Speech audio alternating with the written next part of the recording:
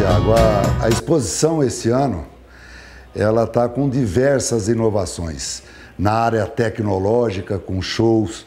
Nós temos o Fórum, o Brasil e o Desafio de Alimentar o Mundo, que vai ser terça-feira, com palestrantes de altíssimo nível. Nós temos aqui a Vitrine da Carne, que é o Bolinha, que é um renomado é, chefe que vai tirar a carne de um boi e de carneiro no sábado, das 10h30 ao meio-dia, depois das 4 às 6 da tarde. E no domingo, nos mesmos horários, das 10h30 a meio-dia e das 4 às 6, ele vai descarnar, mostrando qual é o tipo da carne que você compra, o que, que é um filé, o que, que é um colchão duro, um patinho, ele vai nos mostrar. Nós temos aí os shows que estão com uma grade ótima. Nós temos uma fazendinha que vão ter bastante, vai voltar aquela maquete da, da fazenda, modelo. É, nós temos diversas novidades, inclusive de seda, do bicho da seda lá na, na fazendinha. E, o, e realmente, o nosso foco são palestra tecnológica com muita, muita qualidade. Fora que, para quem todo mundo já conhece, né, a nossa parte gastronômica vai estar recheada. Nós temos é, muitos restaurantes, alguns novos, como o Bossolé, que está vindo aqui para o parque, e, e vai estar muito bom. Eu acho que nós vamos ter uma feira maravilhosa. A previsão de chuva é muito pequena, só para o fim da outra semana que existe uma pequena previsão. Então nós estamos aqui otimistas.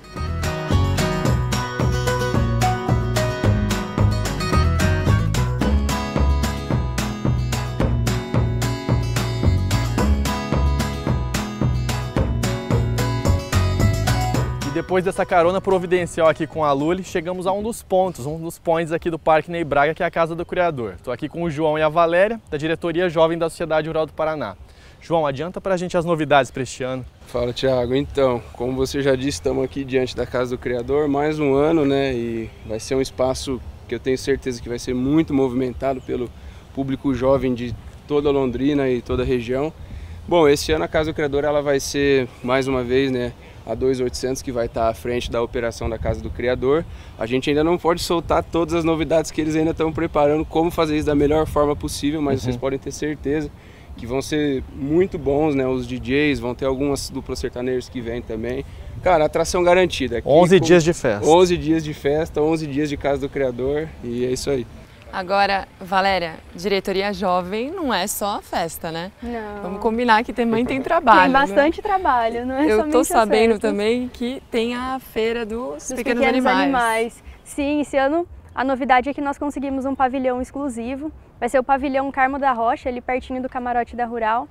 E já tem bastante animais confirmados. Vem lhama, cachorro, aves ornamentais, pássaros, chinchila, coelho, tem de tudo. E as pessoas podem estar comprando esses animais? Sim, né? se a criança viu ali o cachorrinho e já quiser levar para casa, já pode escolher e ser o bichinho de estimação. E fora isso, conta um pouquinho do trabalho de vocês na diretoria jovem, porque sabe, tia, eles ajudam a gente um monte, a gente socorrem a gente todo também. Todo um suporte, né? Não, todo um suporte, né, os diretores eu falo. Conta um pouquinho para nós desse trabalho, João.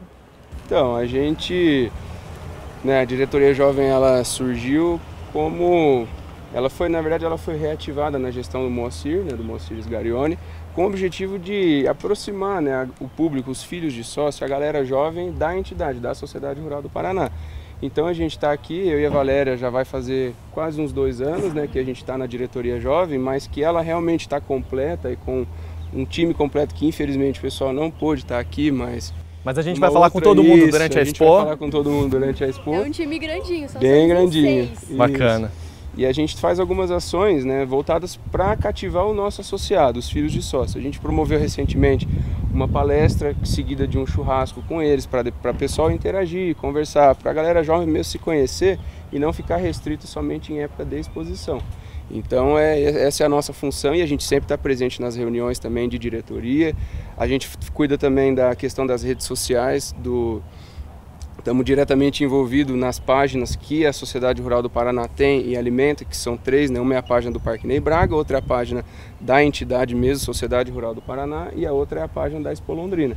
Então a gente está ali junto com, né, com as empresas responsáveis por administrar elas, mas a gente sempre está dando suporte também Bacana. nessa questão.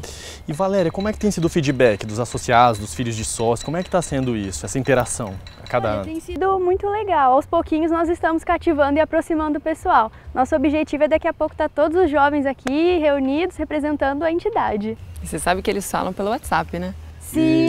Nós temos um Tecno grupo de A tecnologia já impera. Né? Sócios, uma jovens. lista com todos uhum. os filhos de sócios, tem um celular exclusivo da Sociedade Rural, que, que é contato direto, ó, tá até aqui com o João agora. Aqui, ó, esse, ah, esse é o contato uhum.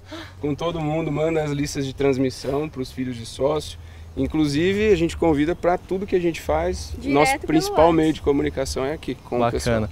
E essa comunicação vai ficar maior ainda agora durante a Expo, porque Isso. eu sei que vocês não podem adiantar, mas agora para a segunda semana tem surpresa, né? Tem, tem uma surpresinha, assim. Eu vou deixar a Valéria contar para vocês. Existe a possibilidade de uma festa exclusiva para os sócios aqui na Casa do Criador. Um sunset, um clima bem gostoso, bem para aproximar e reunir o pessoal mesmo. E quem não é jovem pode participar? Pode, mas isso, vocês né? estão jovens ainda. Isso, vocês ainda gente, gente.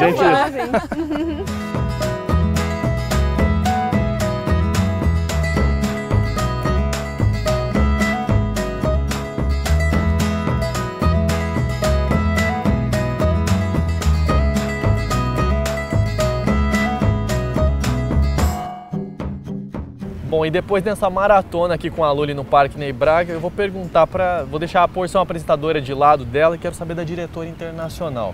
O que, que vocês estão preparando com a diretoria internacional? Eu sei que tem Expo Cultura, tem a Expo no Campo, que você falou um pouquinho. Isso. Conta pra gente. Bom, a gente vai ter a Expo Cultura, que vai ser uma novidade esse ano, que os artistas vão estar produzindo ao vivo para o público estar tá acompanhando. Quantos artistas, Lu? Vamos ter cerca de 22 artistas, Legal. bastante artista.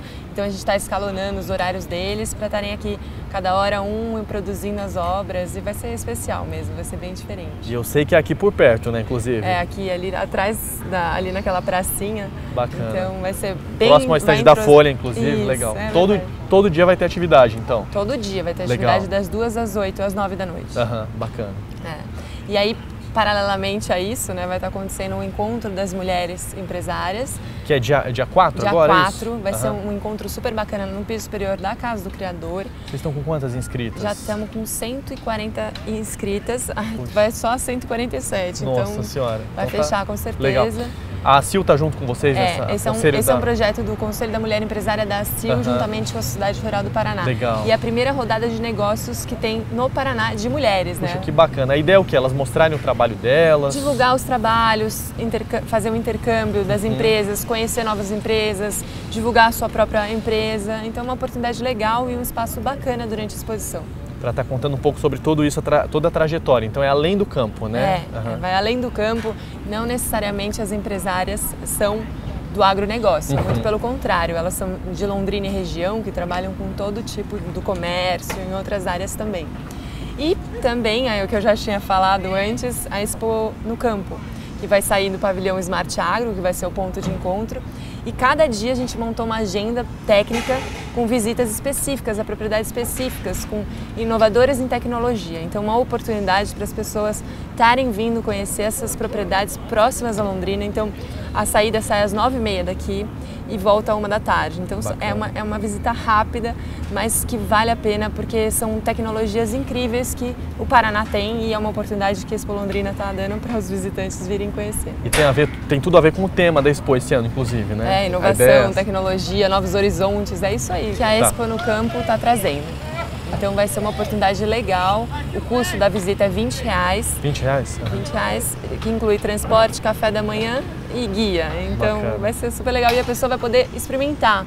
Por exemplo, tem a estufa de tomate, né, que inclusive do Alexandre. A pessoa vai poder vivenciar o que é colher um tomate. Uhum. Então é mais que uma visita técnica, é uma experiência. Legal, bacana.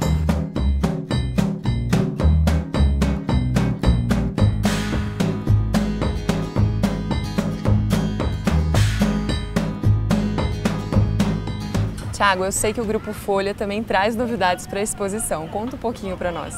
Exato, Luli. Bom, como você sabe, vocês estão acompanhando já, a gente tem as nossas, as nossas transmissões ao vivo aqui do Parque Ney Braga com a Multi TV. E a Folha, como já vem fazendo tradicionalmente, tem a publicação do jornal Folha Expo. Então, matérias de tudo que está acontecendo aqui, da Expo no Campo, Expo Cultura, a diretoria jovem, o pessoal que a gente falou, né? Tudo que está acontecendo, mesmo o próprio social, né? Tudo isso vai estar tá em evidência no, nessas publicações, né? E, e, vocês vão estar no mesmo lugar do ano passado? Mesmo estande do ano passado, tem a nossa redação aqui, a nossa redação no centro, né? O estúdio da TV vai estar tá todo aqui, então é todo o grupo convergendo em relação a tudo que está acontecendo na feira mesmo, né? Estamos juntos com a Rural mais uma vez, Legal, né? Né? Gente, então não percam as transmissões ao vivo aqui do parque, comigo, a Lully, nosso time de apresentadores. E aí fica o convite, né? Expo Londrina até dia 9 de abril. 9 de abril aqui no Parque Ney Braga. E nós nos vemos semana que vem, hein? Tchau. Até tchau. mais.